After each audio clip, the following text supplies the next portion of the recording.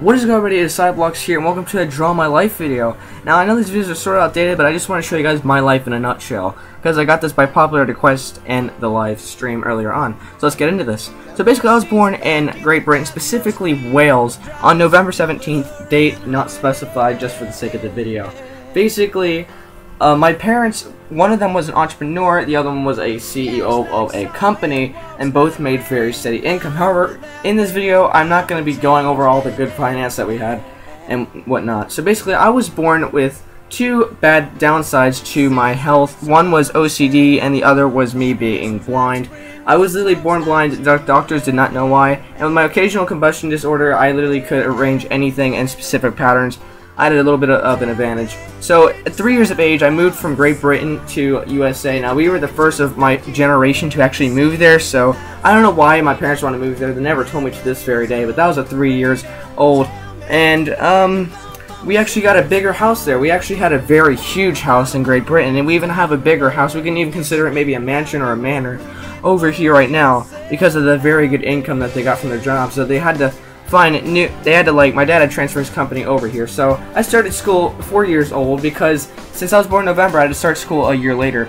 I was in pre-K or preschool actually first. I was left out of everybody. I was secluded and isolated. I never got any attention even though I wasn't exactly an attention hoard so that really got me bummed out. But hey guess what? I still stuck with my academics because that was my number one priority. I still loved ac being academically inclined and I don't know why, but I just I just love studying and stuff. So in pre-K, then things got a whole hell of a lot worse in elementary school because I was even more neglected there. But actually, one of their friends came over there to comfort me, and now I made my first friend in pre-K. And this guy is actually important later on. So I actually got stitches twice. Once by some idiot running me over with the wagon wheel and splitting my toe literally in half in pre-K. And in kindergarten, whereas I was chasing my cousins in their house and I hit a corner of a wall, my head goes first. Surprisingly, my brain was not injured. And people made fun of me. They called me Stitch Face. They called me Hush from Batman. They, they said, but hey, you disability person, even though I didn't really have any disabilities besides being blind and having OCD. But they used to make fun of me all the time in kindergarten, and those stitches lasted until first grade. So after that all happened, basically I decided to commit suicide, but only to realize that I my instincts of drowning myself didn't exactly work because I always came back up to the surface and I was a pussy out of the field. So basically that was my first time at age 5 committing suicide in kindergarten, people. Now, in first through fifth grades, and even in today, I've always gotten 4.0 GPAs. Never have I gotten a B ever since then, or even prior. But there was some time in 5th grade, the 4.0 is 4.0 GPA. In 5th grade, however, people started taking advantage of me because I got a little bit more popular as the grades went on. Basically, people would threaten me to help me with their homework. Like, hey bro, you can do my, my work, can you please do my work? Or, I'm going to beat you up after school if you don't do my homework today. And I had no choice but to do it because this is all true. And people would literally just force me to do their homework, and I was so stressed out and this led me to another suicide attempt, which wasn't even good because I had to hang myself and somehow the rope wasn't secured properly. So basically, my years just went flat out. But in 2012, the guy from pre-K I was telling you guys about, he actually introduced me to this site called YouTube. And I was contemplating about it, that was until September, whereas I saw a YouTube ad on my TV and I said, hmm, you know what, I think he was right. I remember that from a whole lot of months back, and in December I actually started my channel. Now, for 20 days, all I did was just use it for watching and commenting, but on December 25th, I made my first video. On December 5th, you've seen on my About page I joined. It was nothing but Club Penguin and Club Penguin and Club Penguin.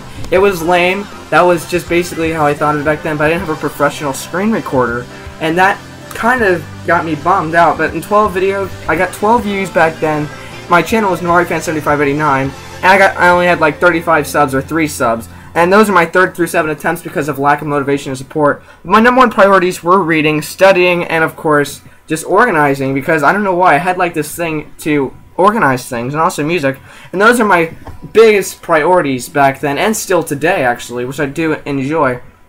Now I did get more popular in middle school. People started watching more of my videos and I still got 4.0 GPAs in my core and elective classes, which is what you see at the very bottom there. It was okay it was still okay. I was even musically inclined. I was a prodigy. Seven years on piano, eight years on violin, year on viola, and two years in cello. And since if you know all the academics of the piano, you can basically do it with any other instrument practically. And from there, I actually bought myself a mic for recording, so that actually brought my views and sub count to go skyrocketing into the sky. And you guys actually started to come toward me whenever I got that mic. It was a Blue Yeti. I remember the first time I bought it. I got 100 views for the first time, 10,000 subscribers, and that all happened in 2015. Thank you. I cannot thank you enough. And that was just incredible. It made my life. And then Cyblox got up to 10,816 subscribers. I was so happy, but before that, I thought I could maybe like hook up with someone else and maybe we can do like some BF girlfriend stuff. But you know, I actually never really got to tell my crushes how much I liked them. So that happened four times, and then my suicide started happening again for twice more. And I usually actually use the same suicide method, but I won't really go into that. So I had to take therapy, and none of that exactly worked on me. But actually, you guys technically were my therapist because I was looking at my channel and I saw all these great comments you guys were like just promoting me, and you guys were just you guys loved Uh, my videos, and whenever you loved my videos and you commented that you loved them, it really got to my heart. And like, why would I commit suicide if I have, if I have all these fantastic people out there? I was so happy. This is like the peak of my life right here. And if I would have committed suicide earlier, you guys probably would have watched my videos, and you probably would have not have saved me. So basically, like I said before, reading, music, and of course YouTube is my better life now. And I would not have it any other way, really, because I would just like to say that I could have been dead, like I said earlier, if it wasn't for you guys. But you know what? I said eat death, because guess what? Death doesn't have anything on me. So I want to thank you guys so much for watching this video. I want to thank you guys so much for the support. You, for those of you who have been here all the way, I appreciate you for being a veteran on this channel. And maybe as soon as you look at my date on my About page, whenever I join this, you can probably go think about all the stress I've gone through. And even with your donations, even though I didn't really need donations, you guys still contributed donations to me, and it helped out so much. I do appreciate what you guys do for me, really, because you're making my job like 10 times more fun than it would have been. No, fuck 10 times, 100 times better. And you know, I wouldn't have it any other way. So thank you guys so much for watching. Without that, with that being said, I'm Cyblox. You're you. Peace out, and have a good one, guys. I love you so much.